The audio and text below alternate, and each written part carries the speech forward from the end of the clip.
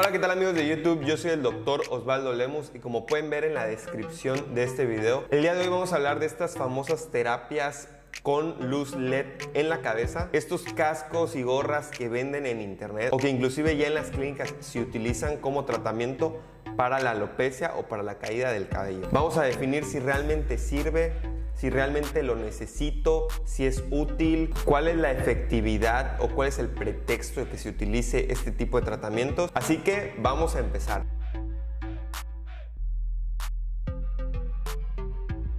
¿Para qué sirven o para qué son este tipo de cascos que tienen láser y que prometen el crecimiento del cabello? Bueno, el casco de láser capilar es un tratamiento coadyuvante para las enfermedades inflamatorias capilares como la alopecia que ayuda o estimula el crecimiento del cabello. Su nombre real es fotobiomodulación o bien terapia láser de baja intensidad LLL Low Level Laser Therapy, y que en realidad, aunque tiene este nombre, no es un láser como tal, más bien es una luz LED que se encuentra dentro del espectro de 650 nanómetros, o sea, es una luz roja. Pero ¿esto realmente funciona? Bueno, la terapia láser de baja intensidad es una de estas terapias emergentes que cada vez tienen más popularidad y que en los últimos años ha aumentado mucho sus estudios y sobre todo su evidencia científica. No es un tratamiento nuevo, es un tratamiento que se usa desde los años 50, cuando en Europa del Este se dieron cuenta que la luz roja de baja intensidad aplicada en un tiempo prolongado a unos ratones de laboratorio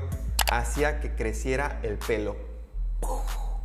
Y en base a eso, todo lo demás se deriva, empiezan las investigaciones. ¿Y qué creen? Pues ya en la actualidad se utiliza tanto en casa como en clínicas. Pero ahora tú te preguntarás, ¿no el láser es el que utilizan para la depilación? ¿Cómo es que también me va a ayudar a crecer el pelo? Es una pregunta muy válida, pero la podemos contestar con la siguiente frase. La luz a baja potencia estimula y la luz a alta potencia destruye. Como les comenté antes, esto no es un láser como tal, más bien es un LED sí con cierta intensidad, con cierta calidad, con cierto grado de potencia, pero sigue siendo una luz de baja intensidad.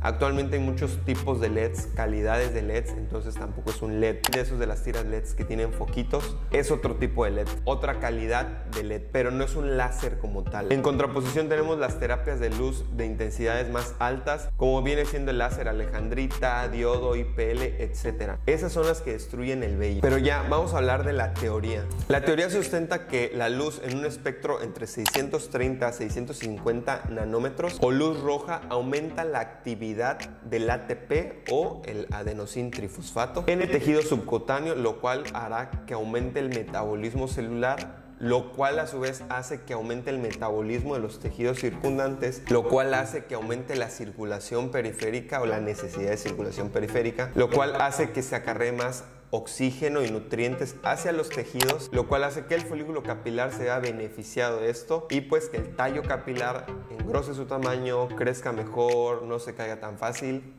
etc. Pero quizá lo más importante es que también tiene un efecto antiinflamatorio y en las enfermedades capilares inflamatorias pues sirve como tratamiento, como ya les dije, de tercera línea. ¿Cuál es su efectividad? Bueno, es un tratamiento que promete sebo regular, acelerar el crecimiento capilar y desinflamar. Para serles sinceros, tampoco es la panacea, no es un tratamiento que te vaya a curar, que si solo te pones un casco te olvidas de la alopecia. Como ya se los dije en el video miles de veces, es un tratamiento de tercera línea sí es efectivo entre un 5 y 10%, pero que tiene que estar acompañado de tratamiento oral, tratamiento inyectado, apoyo en casa como shampoos y lociones, etc. Por eso se tiene que valorar muy bien antes de indicarlo, porque tampoco se trata de que el paciente haga un gasto de algo que no necesita. Con esto no les quiero decir que no funciona, más bien les digo que funciona bien, que es una ayuda extra para que tengas resultados positivos en el tratamiento, que se utiliza muchísimo a nivel global, es parte del protocolo de los pacientes que iniciamos con ciertos tipos de alopecia, pero no es un tratamiento exclusivo. Así que si su médico se los ofrece, realícenselo con confianza. Es un buen tratamiento, pero que no sea lo único que les hagan. Y si estás pensando correr a Amazon a comprar uno de estos casquitos o gorras, te puede ayudar siempre y cuando estés en tratamiento completo y que compres algo de calidad y no sea simplemente una gorrita con tiras LEDs que parece más bien una gorrita para irse de fiesta. No, esas no. Tiene que ser ciertos tipos de gorras, ciertos tipos de casco no cualquiera funciona. Vámonos a la parte del tratamiento. La pregunta es, si me pongo la gorrita, si me pongo el casco, ¿se me quita la alopecia? La respuesta es no. Voy a ser repetitivo, pero es un tratamiento coadyuvante de tercera línea que muestra cierto grado de mejoría, que tiene su efectividad, pero el tratamiento de la alopecia es complejo, es un protocolo que se tiene que llevar todo. Sin embargo, con este tipo de terapias láser de baja intensidad sí vemos cierto grado de mejoría. Hay dos modalidades en las cuales se puede indicar este tipo de tratamientos. El que se hace en clínica y el que se hace domiciliario. En clínica se manda cuando ya hacemos el protocolo completo con el paciente y es parte de los pasos a seguir. Tú vienes a la clínica, te valoramos, vemos qué tipo de alopecia es, vemos qué tipo de tratamiento necesitas y ya que se te arma el protocolo, pues bueno, se te manda un shampoo, se te manda una loción, se te manda tratamiento oral o tomado y seguramente también se te tienen que aplicar inyecciones en la cabeza. Pues dependiendo del protocolo se te hace una exfoliación capilar, se te hace la aplicación del medicamento o del plasma que se tenga que poner y posteriormente se te deja el casco unos 20 minutos y listo. El casco va a para ayudar a tener un mejor efecto a lo que ya hicimos. Ahora, en domicilio, ¿cuándo se manda? Se manda cuando el paciente solo necesita apoyo en casa, no sé, un shampoo, una loción, quizás solo el tratamiento oral, no necesita inyecciones, entonces no lo vamos a estar citando solo para ponerle un casco en la cabeza. Se pueden mandar ciertos tipos de gorras, no es lo mismo, pero pues puede ayudar el hecho que te lo pongas todos los días, unos 20 minutos, y así utilizándolo diario, pues va a tener un efecto relevante. Efectos adversos o efectos secundarios. La realidad es que son nulos, no hay mucho que hablar en esta parte. No es como que te pueda pasar algo por aplicarte un casco en la cabeza.